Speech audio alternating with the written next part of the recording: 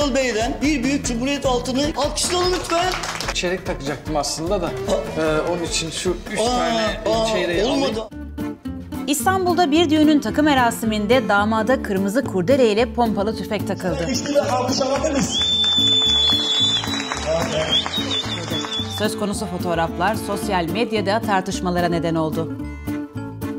Biz de düğünlerdeki ilginç takı merasimlerini sizler için hazırladık.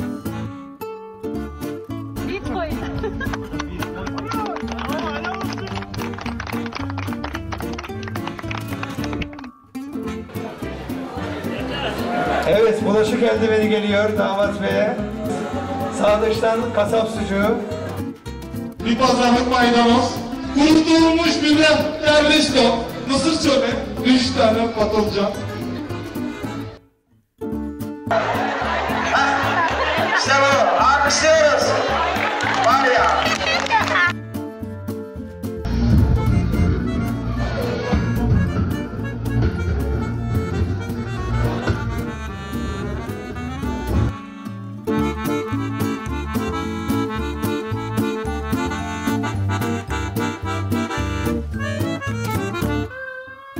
Yeni sanayiden çıkma egzoz.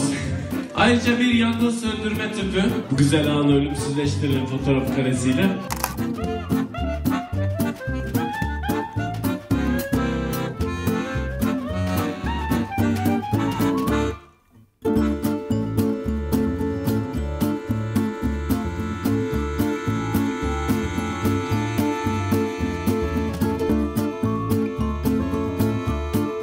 Sizin de tanık olduğunuz böyle ilginç takı merasimleri var mı? Yorumlarınızı bekliyoruz. Videomuzu beğenmeyi ve Oda TV'ye abone olmayı unutmayın.